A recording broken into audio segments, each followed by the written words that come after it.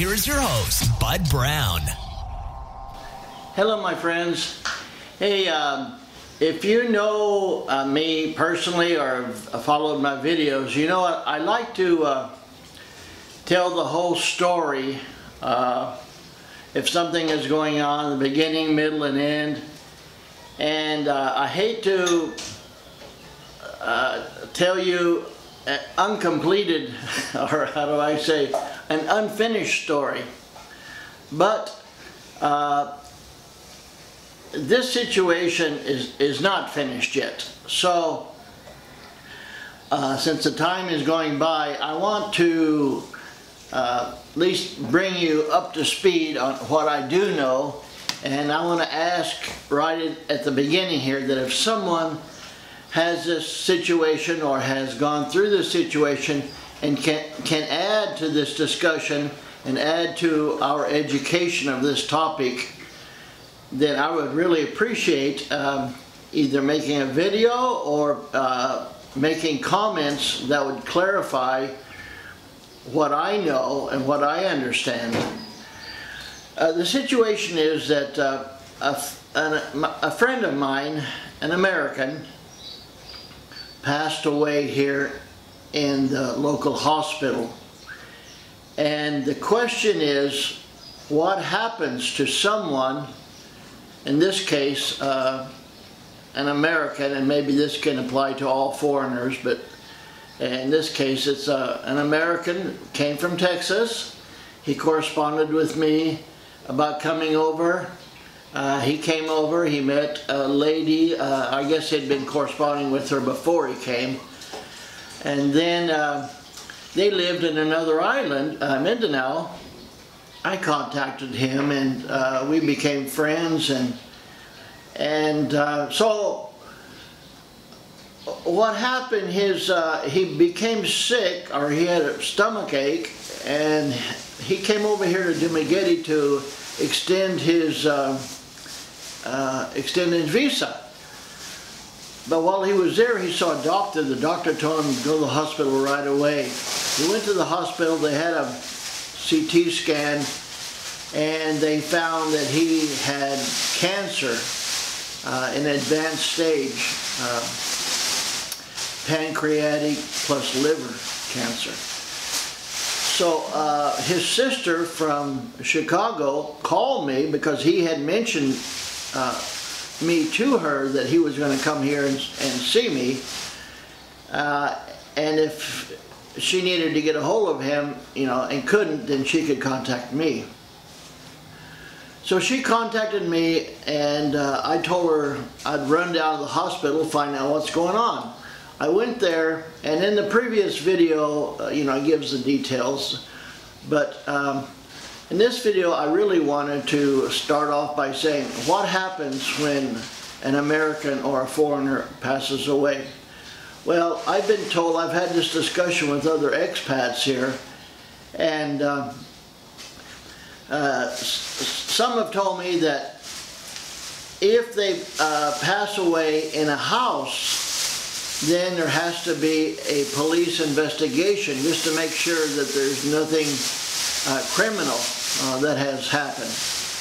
And if it's just a sickness like this one uh, or an accident and, and they pass away in the house, of course the police report will report no, no criminal activity. Uh, but in, my, in this case, my friend was in the hospital, he passed away, and um, let me just tell you what I've learned. And like I say, if someone has had this experience, please uh, augment the story uh, with more details or corrections if necessary. Excuse me. First thing you need to know whether uh, someone is has passed away or has had a sickness, the hospital bill must be paid before the patient or the person is released from the hospital. Evidently, this uh, this policy came about when so many foreigners have come come here, got sick, and and uh, didn't pay the hospital bill and just left. So now they're very strict on um, on uh, you have to pay the hospital bill before you're released. Kind of reminds me of the old days in the States, they had what they call debtor's prison. You had a debt, you went to prison, and you couldn't get out of prison until you paid your debt. So in the States, uh, it's not that way. I don't want to get into it, but it's not that way. Um, so uh, I told uh, his sister that uh, I didn't know what the bill was, but his girlfriend, who was going to be his wife, because she wasn't his wife, she really had no legal uh, authority. And also, uh, his sister said that she he had given her power of attorney to handle his affairs if anything were to happen.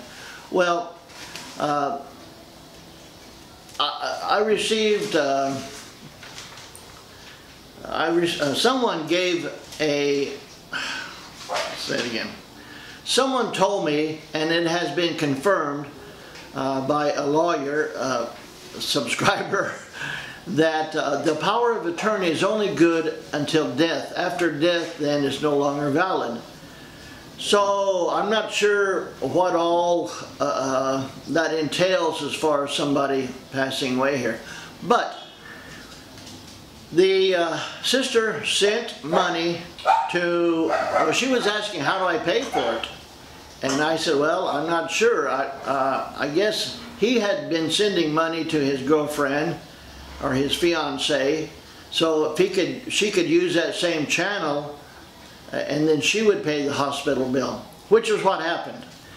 Uh, his sister sent the money and uh, the fiance paid the hospital bill. Now, what happens after that?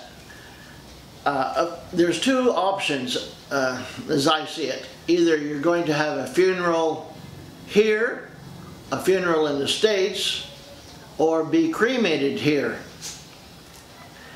And uh, we, his, his uh, fiance and the sister had said that he had uh, elected to be cremated. Well, here in Dumaguete City, there is a crematorium called the Haven and the price is 35,000 pesos, which uh, is approximately $700. And they said, I went there, and they said they would go pick up the body from the hospital and do their service, but they needed two things. One, they needed a letter from the person who's who was uh, the guardian, which would be the sister, requesting that the body be cremated. So there's some law that says you just can't say, I want, here's, uh, here's a, a, body of my friend, I would like him to be cremated. No, there has to be a person, whoever's the official guardian or the person authorized, and they have to send a letter. So she sent me this letter, uh, email. I I printed it out and gave it to the fiance to give to the crematorium. So, and also they needed their payment up front. So that's what happened. Uh, she paid them the 35,000 pesos, $700, gave them the letter, and he was cremated. And it happened like within a day. So that was surprisingly quick. I'm sorry, I don't know about uh, funerals. What happens here, they do have uh, uh, funeral parlors and you can contact them. I did have a friend uh, six or seven years ago. I wasn't close to the uh, situation, but uh, he had someone go down to the funeral place, paid for it. They picked him up at the hospital and embalmed and had and uh, had him in a casket. They had a regular funeral and went to the cemetery and, and had him buried there. That's really all I know in very general terms about that. Now, the this, this uh, situation that we're in right now is that uh, his fiance has the urn with his ashes and the sister would like uh, her to send this to the states. And the question is, and it seems like, I thought it would be a simple answer, but getting that uh, urn, his remains, to the States. I went down to uh, a couple of uh, airlines, uh, PAL and uh, Philippine Airlines, and Cebu Pacific. They said there's not a problem, you just take it as carry-on uh, luggage. And I said, well, there's no, in Tagalog we were talking, I said, well, I'm kasama. Kasama means there's no one to accompany. Oh, wow, that's a completely different situation. They couldn't do it without, this is uh, Cebu Pacific. They couldn't do it without someone accompanying. And they also have a cargo service, and they wouldn't do it without, well, if, if there was no one on the plane to, uh, you know, accompany. So that's where we stand right now. Uh, oh, another important thing. I con someone said you should contact the U.S. Embassy. I didn't know why. So I, con I called the U.S. Embassy. I was very surprised they answered the phone right away. And they uh, have a uh, service there, or department called American Citizens Service. American Citizen Service. I looked on their website and they said here are things that we can do and here are things that we cannot do. I noticed that uh, the things that we can do, it said, um, what was it, medical emergencies. So I called and then uh, you reach the, the general operator, you say you want American Citizen Services, she transfers you, she answered the phone right away. I mean, if you're familiar with bureaucracy, that's kind of unusual. So I told her that my friend had passed away, he had been cremated, and she kind of interrupted me because I think she thought she knew what my questions were going to be. She said, well, let me tell you that uh, we do not uh, pay for funeral expenses, uh, we do not pay for hospital bills, and we do not pay for the flight home. So at this point, in my mind, I'm thinking, well, what good are you? You know, I didn't say that, of course. I really wanted to know what services do they provide. So I, that's what I asked her. And she said, well, the most important thing you need to do, or, or whoever uh, has the authority for, for your friend, is to get a certificate of death from uh, the U.S. Embassy. They have a, a certificate called, I believe it's called the uh, uh, Certified Death of an American Overseas. She said that's important because, uh, of course, a death certificate is required for uh, health insurance, uh, maybe bank records, and other official things in the States.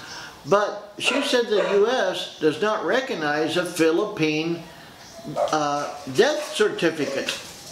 So she said, I'm going to send you a list uh, of the things that you need to do and a form to fill out or whoever's uh, authorized to fill this out and we will give you, we'll send her or him or you this uh, certificate of death from the U.S. Embassy.